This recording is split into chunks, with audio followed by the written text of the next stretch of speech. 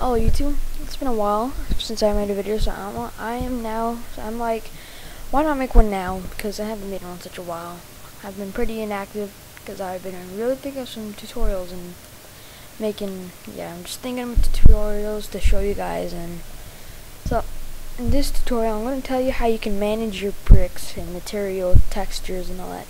So, first of all, you want to place down the bricks you want to go. And, for example, um, right here, um, it's uh, wooden. So if you want to know how to do that, this is the video for you. All here, it's a little dirt.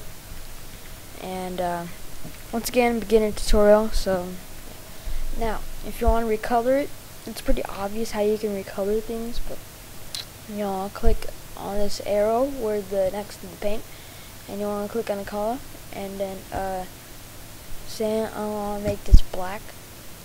I click on black and then I come over here and I click it and bam. And then I'll press undo so that it changes back to normal. Undoes like the paint and what I just did. And so if you want to change the material color um, uh, you can by going up to here and uh, it'll give you a selection of what you want. You have uh, plastic which is basically default wood slate concrete and um, corroded metal, whatever, diamond plate, foil, grass, and ice.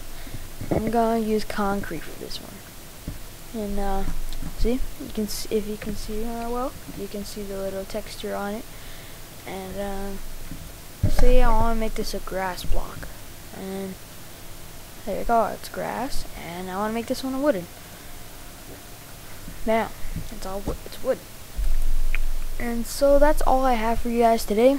Thanks for watching my beginner tutorial. Hope this helped. If you want to, if you want to know something else, um, please leave a comment below, and please take your time to leave a rating, as I would much appreciate it. See you later.